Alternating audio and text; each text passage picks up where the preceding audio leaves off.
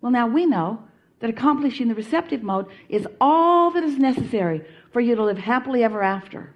And yet do you meditate very often?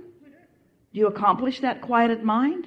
Do you listen for that feeling of alignment? Or are you fixing problems and sorting things out and talking about what is? And then we think of another brilliant idea to guide you into alignment and into alignment and into alignment. In other words there are endless ways that you could go about it but what it really comes down to is that you are thinking mechanisms and you want to think.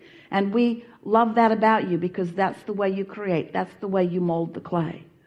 But when you think in opposition to your desire then you hinder your desire